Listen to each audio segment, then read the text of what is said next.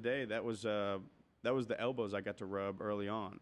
So that was it. It, it is super cool having those memories now. And to your point, like, you know, obviously, I I hope the glory days are in front of me, right?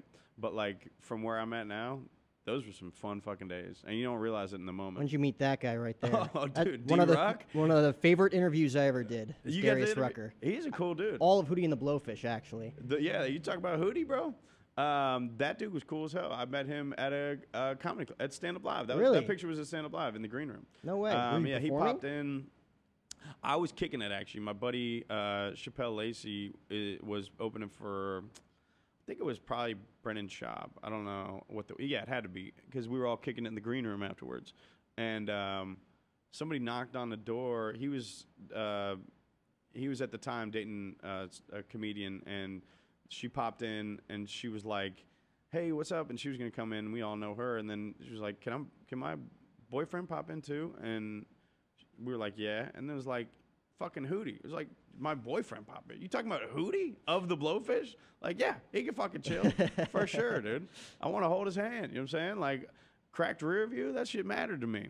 I'm 35. Like that was a fucking amazing album. So yeah, all of a sudden we're kicking it with Hootie, and uh, it was funny. One of my other homies, he's a local dude here. Louis, you know who Luis Alvarez is? Yes. He's yeah. one of my favorite comics here locally. If you don't fuck with him, I think it's Comedy Luis on um, Instagram. Very funny dude here. Here we're kicking it with uh, Hootie, and uh, I know who the fuck Hootie is, right? And Luis is younger. He's probably mid twenties or something. I'll never forget. We're just chilling outside and getting, you know, just bullshitting with him. And Luis looks at him. He's like, "So what do you do for a living?" And I'm sitting there like, "Motherfucker, what is fucking Hootie?" And he also was funny because he responded. He was like, "I do. I play. Uh, I do music, touring, touring musician. Like so humble. Like, you know, he's like, that was a cool night though.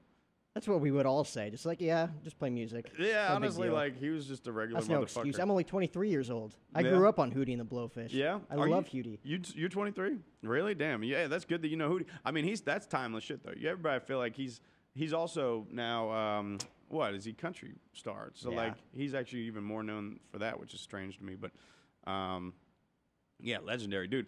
And to what we were talking about earlier, like meeting celebrities and shit like that in L.A. Like he was. Some people are way like more reserved and closed off. Dude, he was cool as fuck, and it was just like hanging with a buddy.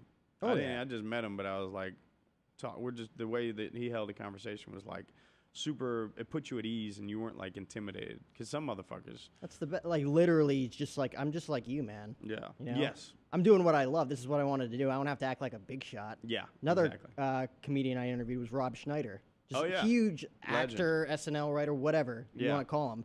As soon as we hopped on, he's just like, Jack, handsome man, what's going on? Yeah. Like he's just cool guy. Yeah. Like literally, you, you have no business talking to me. Like I like, I'm not helping you. You're helping me here, Yeah. man. And, Yeah. and you were that kind, that that gracious to do that. Well, you had. Uh, I saw one of the videos you had was you had Bob Saget. yeah. The he Yep. like I never got to actually meet him. May he rest in peace. Obviously, somebody that like has like a had an iconic, um, you know, vision in anybody's childhood that was in in my age, but also like Full House is still very huge in Oh, everybody. e- America's everybody Funniest Home Videos, all that shit. He uh, all the stories you heard this week since his passing was like how down to earth he was, and I'm sure you can attest to that. Like talking to him, like I, I watched a little bit of that um, interview, and he was just like so cool, so like not intimidating, so like he didn't hold it over your head that he was Bob Saget. It was No. like, yeah, it, I love shit like that. Those